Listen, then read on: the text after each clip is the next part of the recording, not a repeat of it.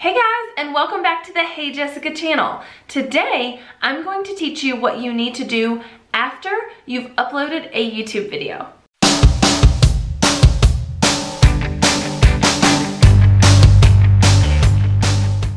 So we all know that it's really just a matter of setting up a YouTube channel and uploading.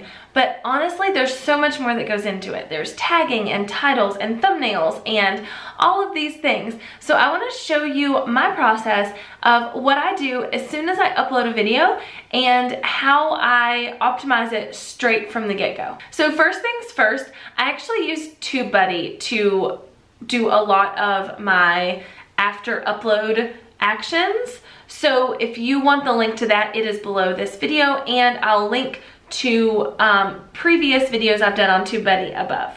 Okay, so first of all, once you've uploaded, you want to go ahead and create a custom thumbnail. What I do is I go through the video and I grab a screen grab of the video itself, like from the video, and then I pull it into Photoshop into a template I already have made and I create a thumbnail. You can actually do this in Canva or basically wherever you wanna do it. Now, I do intentionally start every video with like a weird 20 second like pause where I'm like posing and doing things to like make sure I have a good like screenshot uh, for my video but you can totally just grab a video of you talking. Maybe you talk with your hands and you're doing something like this and whatever. So um, be intentional about it and grab a screen grab from your video to create the thumbnail and make a really eye-catching but on brand thumbnail. Okay, the second thing you wanna do after you've uploaded is you want to optimize the title in a way that is going to be search worthy and will help people find your video more.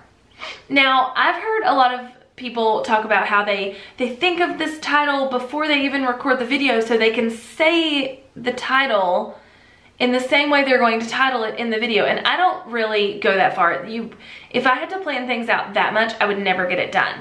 So what I do is I come up with the topics and I come up with a running title essentially something that I think people would search for something that I think would be good. And then I go in and search for it on YouTube and Google keywords. So I use a Google keyword title generally for my blog so it's better on Google itself and then I go into YouTube and do a search for how people might be searching for it on YouTube. So then I title the YouTube video that way. So for instance, this video you're watching right now is essentially like what to do when you upload a video. But I'm probably not going to title it that way. What I'm going to title it is something along the lines of how to optimize your YouTube videos, how to be found in search, or how to rank higher on YouTube, blah, blah, blah. Like something in that nature. I haven't quite decided yet and see that's, that's also to my point. I don't plan things out super meticulously because I don't feel like I need to I need to do that. It stifles me creatively, but um, I will plan that out and come up with a really good title to go along with my video and my blog post after I've uploaded. Okay, so that's number two. You want to pick a title that is relevant to your video. You don't want clickbait or anything like that, but you also want it to be search friendly and keyword friendly. So then you wanna think about what tags you want to add to your video. Now tags are essentially what is telling YouTube how to find you in search and how to place your video in related videos when it comes to someone else's video. So for instance, if I just had the tag YouTube or something like that, it's not going to tell YouTube anything. Everybody has the tag YouTube, right? So when someone searches YouTube, the odds of me coming up are pretty darn slim and it doesn't have any clue what I'm talking about.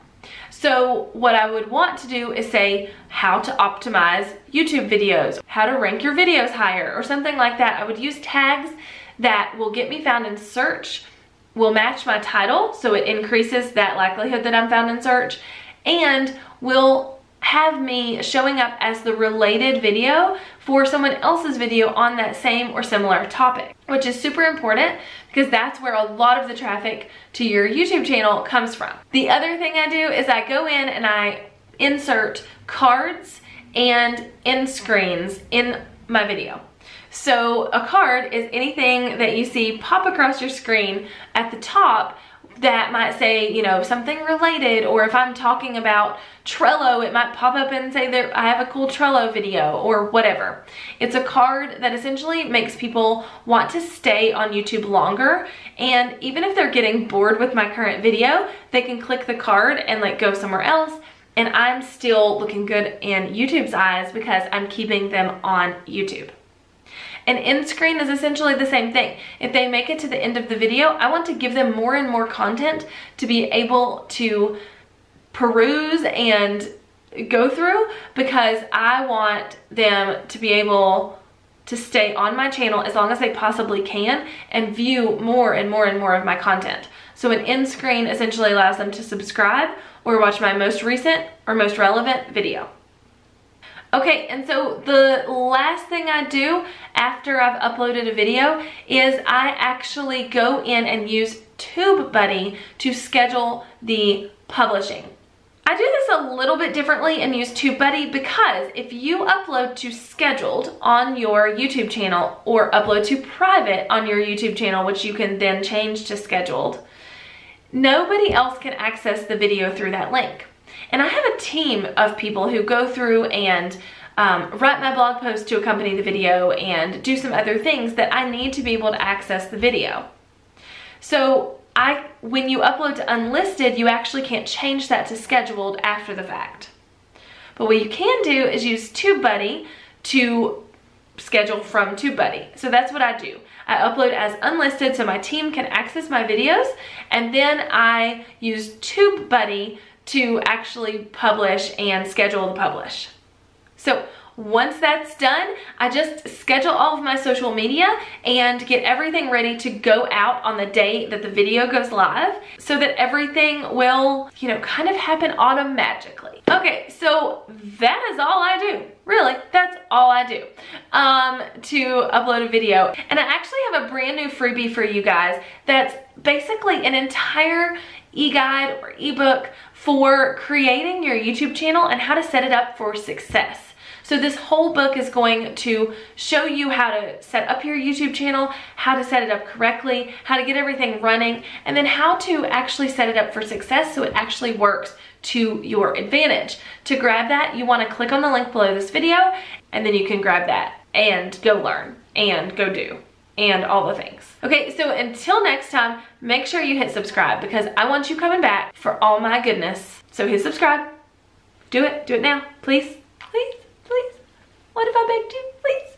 And then come back for more and more nerdy business tips with me. Until next time, bye y'all.